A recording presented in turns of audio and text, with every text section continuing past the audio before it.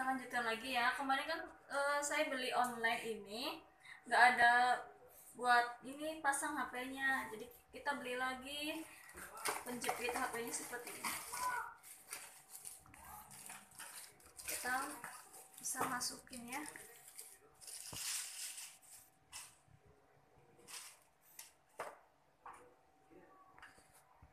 Seperti ini cara masangnya ya.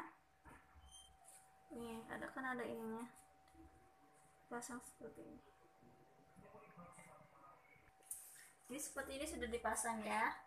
Tinggal kita ini aja ya putar tombol ininya aja kita putar ke samping. Kita sudah bisa memasangnya. Teman-teman seperti ini cara masang HP-nya ya. Ini kita tarik ujungnya kita masukin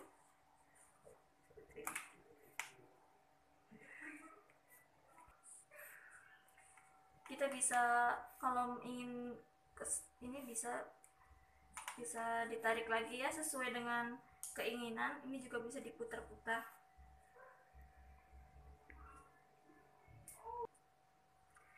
Ini udah terpasang HP-nya ya. Kita coba untuk uh, foto atau video jadi seperti ini.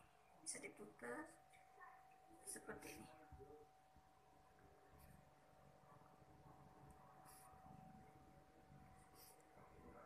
untuk bebannya sendiri ini hanya 3 kilo ya teman-teman.